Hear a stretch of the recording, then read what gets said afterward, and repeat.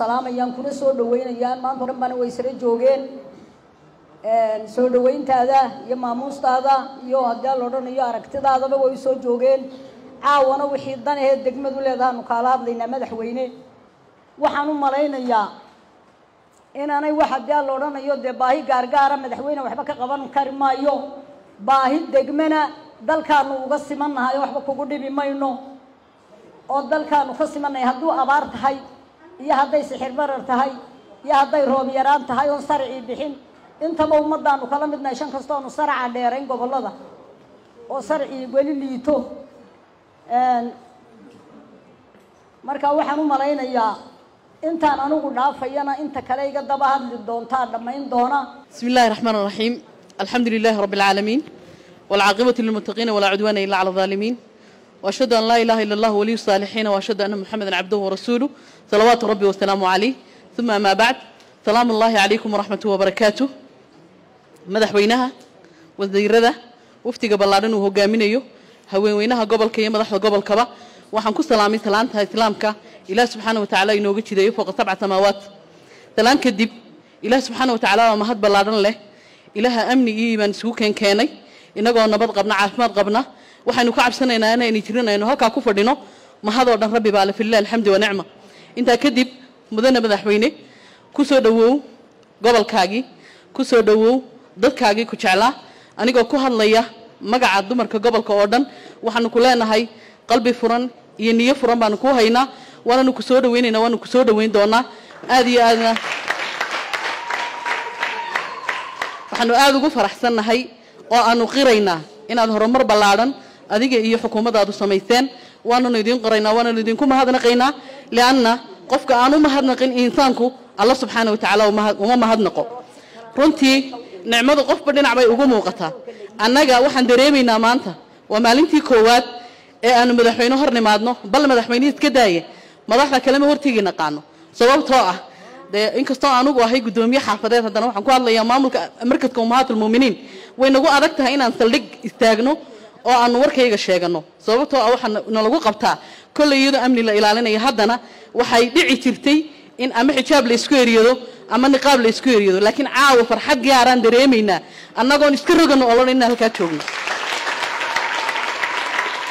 Waanaad ku mahadsan tahay waxaa sidaa yeeli kara waxa weeyaan qof diin jecel qof xijaab jecel qof dareemaya gabadha muslimadda ah iyo waxa ilaahay ka doonayo. Aad baanaad ugu mahadsan tahay waananu kaaga mahad celinaynaa sidaa imaama kuu sheegtay waxaanu nahay gruub aan isku bahaysanin. Waxaad dad isku bahaystaan. Sida qabiil reeraysi markaas iyo dangaara. Waxaanu nahay gruub isugu xidhan liwaji illaahi tacaala. Kana kooban inta ay tahay somalilan dal iyo dibadba.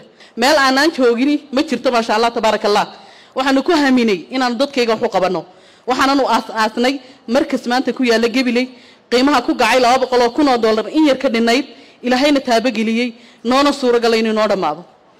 Maasha allah waxaan is leenahay waxaad qabateen in loo baahnaa in la iska qabto kolleyna. Waajibku dadka wuu kala saaran yahay.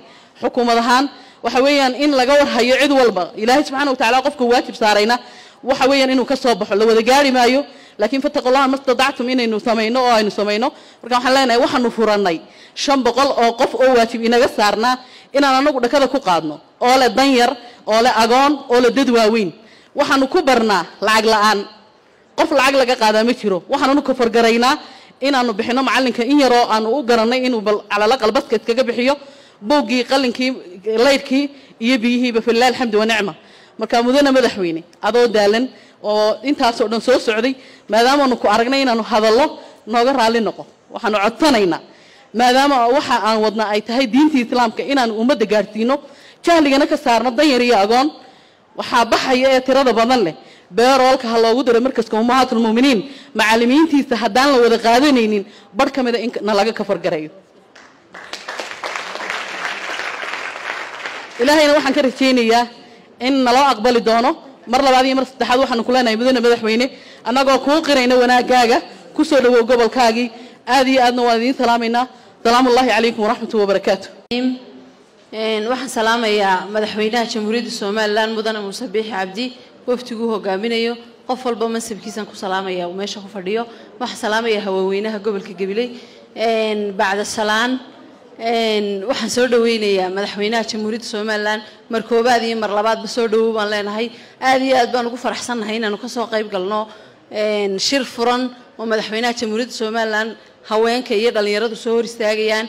Su'aashay doonaanna weydiin karaan waxna u sheegi karaan. Waa wax weyn oo aan odhan karo horumarka dalkay ka mid tahay.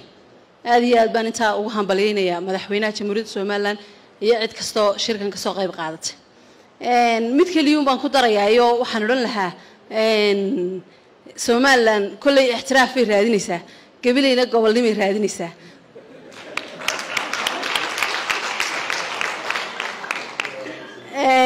Markaa madaxweynaha iyo madaxda kale ee hor waxaanu ka codsan lahayn inay mooshinkaa golaha wakiilada nala geeyaan. Annaguna kambeynkaa diyaar baanu nahay. Gobolnimadana shuruudihii in badan waanu buuxinay ama waaban wada buuxinaan odhan karaa. Markaa waxaanu codsanaynaa in gobolnimada lanala riixo inta kale hambaliyo iyo bogaadin iyo soo dhaweyn uma ku soo gebagabinaya su'aal baan madaxweynaha weydiinaya? Su'aasha ma badinayo dadku way badan yihiin. Su'aashaan weydiinaya waxay tahay madaxweyne. Waxaan waxaan doonayaa goormaad ku maxay haydayeen? Aad ansixinaysaa gobolnimada gabiley su'aashaas baan weydiinaya aadna waan ku salaamaya goor baa la helayaa gobonimadii gobolkii iyo dee goonidaas ku qaladee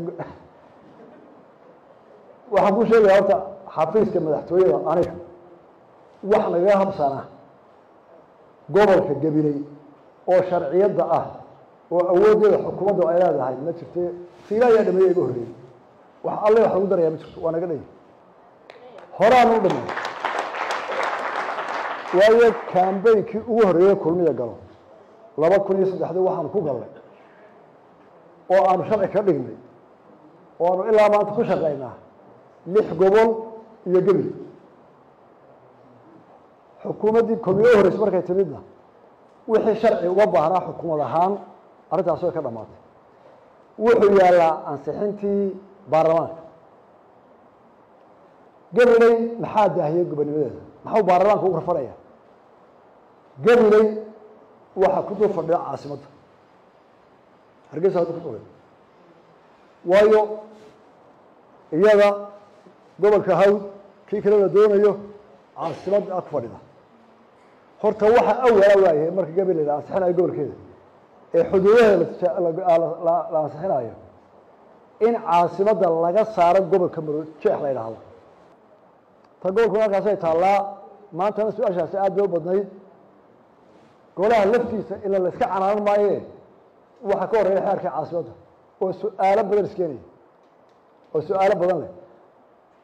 Marka halkaasi ku xanimantay haddii alagaa baarlamaanka cusub sannadkii hore waynu ogolahay way cartamayeen way cusbaan qaalimo laylay ahaayeen oo kolba gobasha tuuraya oo xaggan oo xaggan. Marka waxaan idinka rabnaa baarlamaanka o gabile waxaa idinka rabtaa inaad xeerkii caasimadda guda gashaan oo gelina xadkeeda uu caddaado u banaysaan dhulkeeda badiyo beriga kaasa idinka sugaya anaga waxaa igu hadhay oo siyaasadda aan ka saarayaa su'aashii wanaagsaneyd ee qoladii ahludiinka ahayd umuhaat lmuuminiin ay yidhaahdeen macalimiinta ha loogu daro gunadiyo intaa. Jasaakum ullah